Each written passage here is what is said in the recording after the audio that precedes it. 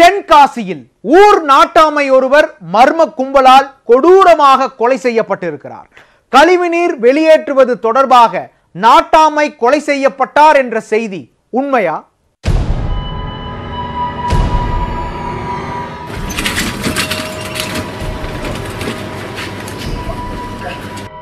சாதாரண கழிவுநீர் பிரச்சினை அறிவால் வெட்டு வரை செல்லவே போலீசாரின் அமைதி நடவடிக்கைக்கு ஒத்துழைத்துள்ளார் நாட்டாமை வெள்ளிநாயகம் பிரச்சனை குறித்து புகாரளித்தும் போலீசார் கண்டுகொள்ளாதது ஏன்?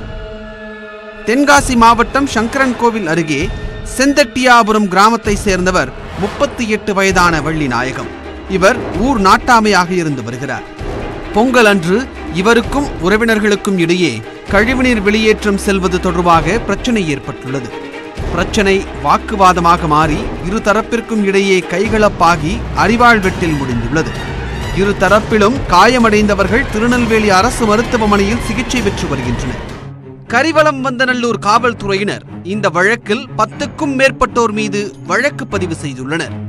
போலீசார் விசாரணைக்காக சிலரை அழைத்துச் செல்ல முயன்றபோது ஊரில் சிலர் வழிமறித்து அவர்களை தப்ப வைத்துள்ளனர்.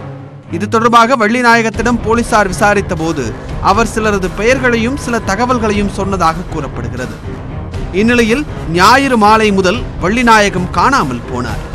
இரவு முழுவதும் போலீசாரும் உறவினர்களும் தேடிய நிலையில் திங்கட்கிழமை காலை ஊருக்கு ஒதுக்குப்புறமான ஓரிடத்தில் அவர் கொலை செய்யப்பட்டு கிடந்தது தெரிய வந்தது.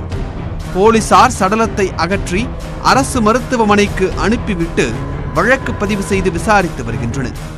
தாக்குதல் சம்பவம் தொடர்பாக துப்பு கொடுத்ததால் வள்ளிநாயகம் கொலை செய்யப்பட்டாரா என்ற கோணத்திலும் விசாரணை நடந்து வருகிறது. இதற்கிடையே கொலை நடப்பதற்கு முன்பு தனது தம்பி பெருமாள் என்பவரிடம் வள்ளிநாயகம் பேசிய ஆடியோவும் வெளியாகியுள்ளது. அதில் தனக்கு மிரட்டல் இருப்பதாக வள்ளிநாயகம் தெரிவித்துள்ளார்.